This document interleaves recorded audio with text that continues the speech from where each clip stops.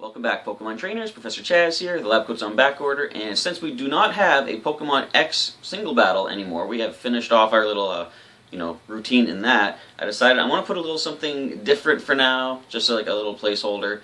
And I thought I want to actually show off one of the other games, Pokemon related, that I've been playing lately, and it's Pokemon Picross.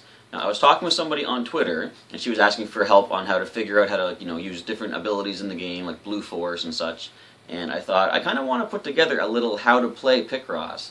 Now I know the game itself gives you a little instructional um, area. You get like five five stages to uh, figure out exactly how to play Picross, but I thought I might want to show it more in action. So we're going to check out a couple of puzzles in Picross today, and I'll show you basically the basics of how to play Pokemon Picross. Let's begin.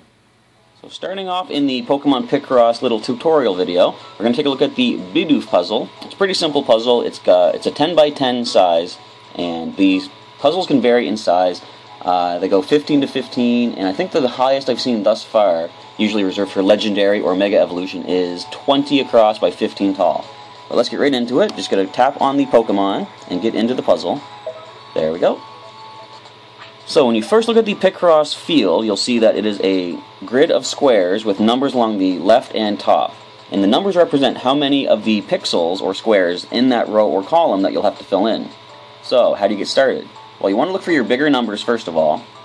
We're going to take a look at the number 7 down on this bottom row. So, if you were to fill in 7 squares, they all have to be uh, connected. And you can either start them, you'll see here, excuse me, here, here, or here. What this means is no matter where they start or end, these four pixels in the middle are always going to be filled in, so I can simply just fill these in right now. So, that's your good starting point. Now what you want to do is take the information you have here and cross-reference it with the column numbers. You'll see three of these columns end in a number 1, which means a single pixel is the last that can appear in that column. So we can take our little X and mark off those right now. So it's going to help us build the puzzle a little bit more. This here has a 1 and a 6. So a single pixel separated by a number of x's followed by 6 straight in a row is going to be in this column, which means since we know where this column ends as far as pixels go, we can fill in 6 pixels straight up right now. And top it off with an x. You don't need to fill in the x's, but it is a lot useful to you know keep track of where you can fill a pixel and where you can't. So, now that we have that information, we can start looking ahead at some other things. So this column here, or this row, you'll see the number one is grayed out because the game will tell you when you have a pixel in a spot that cannot, you know, it's not wrong basically. So this means that we have to have two single pixels on this side of the X's and a double pixel, two pixels, on this side. So there is a way we can figure stuff out here. Since there is only three possible squares that can be filled in, and we have to fill in two of them consecutively, we know it's either going to be this one in the middle one or the middle one in the end. In either situation, the middle one is going to be filled in, so we'll fill it in right now. We can also figure out the two on this side. You'll see that we have three pixels. We have to have to have a single pixel separated by an X and another single pixel. Obviously, there's only one way that could work. We're going to fill in 1 and 2 and put the X in the middle, and that solves that little section as well. So now, we start to cross-reference some more stuff. This column has just single pixel squares to fill in, which means that we can surround this one with x's. And we're going to do just that. Put x's on top and bottom. This helps us with the number 7 as well, because you'll see we have a single pixel over here, which will not be filled in, because the any filled in pixels in this row have to connect to the initial 7, so we can fill in an x. This also helps us by letting us know that if the squares were to start here, we have 1, 2, 3, 4, 5, we know we can fill in two more because no matter if it starts here or ends here, these six will always be filled in. So we can continue moving on. We have a single pixel at the bottom of this column, so we can surround that with X's. And what else can we figure out right now? Well, this is good here. We have a 5, a 1, and a 1. It's going to be 5 pixels with an X, a 1, an X, and a 1. Now, there could be more X's, but if you do count them up, you'll see we have 5 on the top section, a blank for an X, a 1 pixel, blank for an X, and a 1. We can actually fill out this entire column right now, which we're going to do. Oops. It's kind of hard to tap around my camera the way I have it set up, so bear with me if I make any mistakes. The problem with making a mistake, though, is Pokemon Picross limits you to a certain amount of energy at the start of each game, basically. And every time you fill in a square, it takes up one of those bars or blocks of energy. And you have to wait for your energy to recharge. But anyway, continuing on, so now we can use the what they call edge power. When you have something along the edge, say the, the left or right or the top or bottom, it helps you figure things out because you know nothing can go to the right of this side because it's off the puzzle. So we can initially assume that whatever number is the rightmost in this row here, or any of these rows, is going to be the number that corresponds to these pixels. So we do see four of these five end in a 1, meaning that we can end off these ones with x's, but we do see a number 2, which means that we're going to fill in a second pixel here and block that off with an x. So continuing on, let's see what else we can figure out. Well, we do see a big number 7, and as I say, look for your big numbers, and if you can, try to solve them first, because they fill in the more squares to help you out. So since the 7 starts at the bottom, we're going to move it all the way up 7 pixels. We can put the rest as x's. Anytime you see a row, such as these here, that are grayed out completely, that means you filled in all the pixels required, so you can actually X out the rest of the blank spaces to help you figure out the rest of the puzzle. So we do see that now this 7 down here, it is ended off here, which means we have 6 filled in. There's only one possible space left, so we can fill that in with a pixel. Now just kind of perusing the puzzles, checking things out. We see a single one here, and 1 is the last number here, so we're going to be able to fill this in with an X. And now that we have that, we see that there is still a solid line of 6 we have to fill in, and there's two individual pixels. We know that they have to be connected, so we can just fill those two in which helps us with this column here because we see that it is a single pixel column the entire way so we can fill in an X there. Now 3 is the next number here and we've already got the next number or the next pixel started so we can go straight up like that and X that off and we see the number 4 is in this area.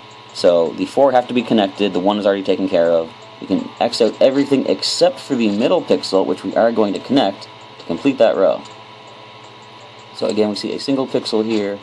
Now that we've done that, you'll see that there are two blank spaces and four up here, and we need a connection of four pixels in this column. So obviously they cannot fit in here.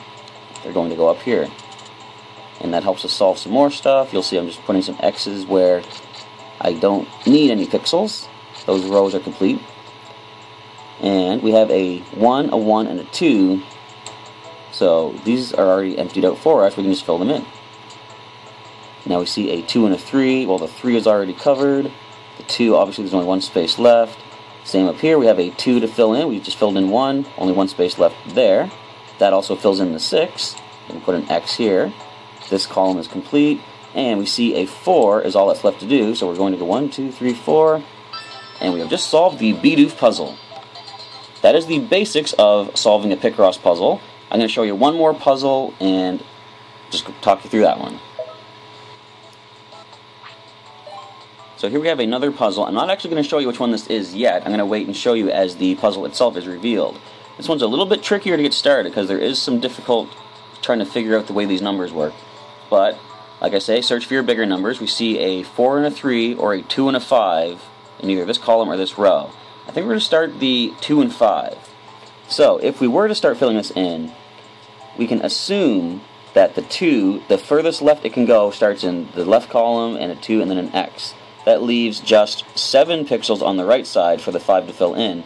And as I mentioned with the 7 pixels in the last puzzle, the Bidoof, uh, puzzle, you can figure out that if it starts here, these 5 will fill in. If it starts here, these 5 fill in. Or if it starts here, these 5 will fill in. So we know the three middle ones of those 7 can be safely filled in. And that's going to help us with these two columns, because these are all single pixel columns. We can fill these in right now.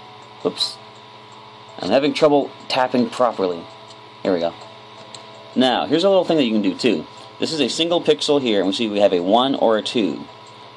It doesn't seem like you can really fill anything in just yet, but there is actually something you can do.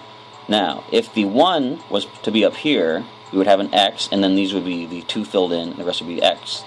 But, you could, you know, we can't assume that. This could be the single pixel here, and the 2 could appear somewhere else down here. Either way, this has to be an X because if it wasn't, if this was filled in, you would have the 2, you would need an X, there would be no space for the 1. So we know we can fill that in as an X. that really helps us in that row because we see 2, 2, and 2. We have 5 and a 2 over here. So with an X needing to go between these two, we know we can fill in these two, these two, and the only two left are over, whoops, over here, and we can fill that in. So this works out well because with this column of 4 and 3, we know the 4 cannot start up here, so we can X that out. And that leaves us just enough space to fill in 1, 2, 3, 4, leave a space, and 3. So you see this is a lot of back and forth you try to figure things out. This here has a single batch of 2, and we know can it has, has to start here at the highest, or at the lowest I should say, which means it cannot go anywhere here. These can all be xed out. And again, we see a single pixel here. There's nothing more we can do with that just yet. But we can take a look at this column as well. So 2, 1, 2, 1. By figuring this out, we see there's only two possible combinations this can be. Going to be like this, or it's going to be like that. And as you see, in either combination, there are two pixels that are always filled in, and they're going to be this one that's already filled in, and coming down here, we see one, two, three, right there. And this leads into this row, which is going to be 2 at the rightmost side. We can X this one. And can we figure anything else out? Well, this complete row can now be X'd out, which gives us a little bit of work, or a little bit of stepping forward in the puzzle. Now, this column here, we see that there is a pixel here that's going to correspond with the 2, which is the highest most number, and a single one down here. And this one is going to apply to the 1 right here. So we can X out everything else around that. We can also put an X here because we know the 2 cannot extend down 3 pixels, so that's going to be filled in. And anything else we can figure out? Well, we can now figure out a bit of this. Since the 2 has to be either these two or these two, leaving space for an, a 1 and an X in between, we can fill in the 1 here, and the 2 goes up here, leaving that space for the X. Alright, now, just bear with me, it's going to take a look at the puzzle here. We can put a pixel here because if the 5 starts here, 1, 2, 3, 4, it has to fill in this square. Now, what else we can figure out is this has to be an X, because if we fill in a pixel here, it's going to give us a row of 6. We do not have a row of 6. So we know that this has to be an X.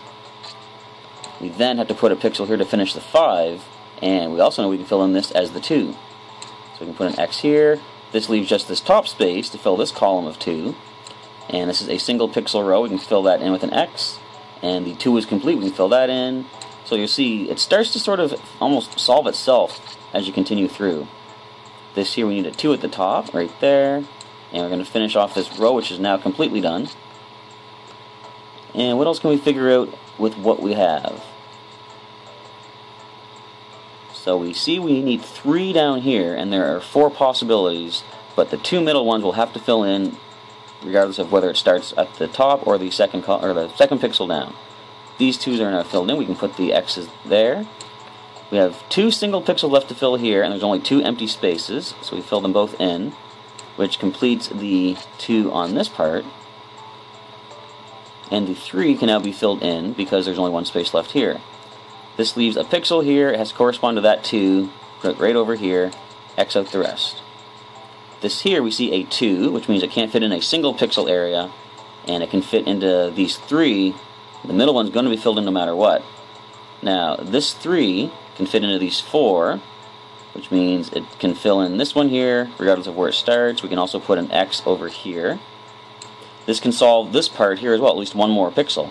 The 2 has to be either here or here, and a single pixel has to come beneath it. Well, if the 2 is here, we can't put a single here because that would make a co uh, connection of 3. So this single one is filled in in the corner. And X out the rest. This helps us with this because we see there's only one pixel left that this can fill.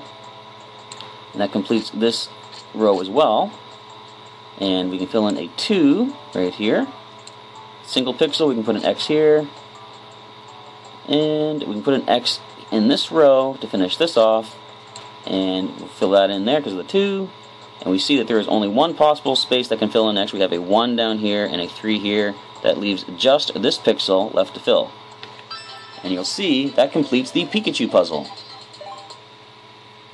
Now just to give you an example of how complicated these can be, because these are pretty simple puzzles for the start, I'm going to show you Mew. Take a look at this puzzle. energy gauge is too low. I don't have enough energy in my game to actually complete this puzzle, but I can still go in and just show you the size of this. Let's do it, Mew. That's quite a sizable puzzle. But you can always just use the techniques that I was telling you about. You can see here a 3 and an 8 have to fill in here. So what you can do is count up. we got 1, 2, 3, X, 1, 2, 3, 4, 5, 6, 7, 8. So, since the 8 can possibly start at the top, and it's going to go to the square at the lowest point, we can fill in 1 here, 1, 2, 3, 4, 5, 6, 7, 8. That gives you a starting point. Now, it's kind of hard to work on this because it is a single pixel in the middle of the puzzle. That's why they say you want to try to go for the edges first if possible. But that is a basic rundown of how to do Pokemon Picross. I'm not actually going to complete the Mew puzzle because, of course, I don't have the energy and I don't think I have the time to do it either. There are missions you can do to try to get uh, some stars in the game, just to sort of complete a puzzle perfectly. But I've already done that with this as far as I can go. Some requirements say you have to set certain Pokemon, and as you'll see, you have to set Mewtwo to complete the Mew puzzle. But that is a basic rundown of Picross. Hope you found this interesting, and for anyone that wants to pick up this game, it is a free download in the Nintendo eShop, and it is a free to play, or what is it, free to play, but you can also spend some money to get some Picrites, which are the way you unlock new stages, you unlock more slots for your Pokemon. And I didn't mention that either. There are Pokemon you can set. In fact, I'll show you this right here. Whenever you complete a puzzle, you get the Pokemon in your team, and you'll see each one has a special ability. For example, a lot of grass types have something called Auto Fix, where if you have an unfocused camera, there we go. If you make a mistake, the Pokemon will automatically fix it for you. There are other things like slow time, like Helio or Heliolisk here, you can slow the timer down, which is good for those missions where you have to complete it in a certain time limit. We have Hyperscan, where Noivern or other Pokemon will search the entire playing field and look for any mistakes you've made. Blue Force actually lets you fill in, or not fill in, but it shows you which rows or columns you can fill in an X or a square to help you along the way. It's like it's a surefire thing you can fill in, and they let you know which row or column you can do that in. Other things like freeze time. I love the freeze time for missions that say complete in 5 minutes or more, you can actually take like 20 minutes if you set the right Pokemon with freeze time. So that is pretty much the end of the basic rundown of Pokemon Picross. It is a fun game if you like puzzles. I recommend picking it up and giving it a try, and hopefully you enjoy it. If you do like this game, you know, if you pick it up and give it a try and enjoy it, feel free to leave me a comment down below and let me know what you think of it and just how much you like it. Alright, with that, we're going to end off this video. Thanks for checking out this How to Play Picross video, everybody, and I'll catch you next time.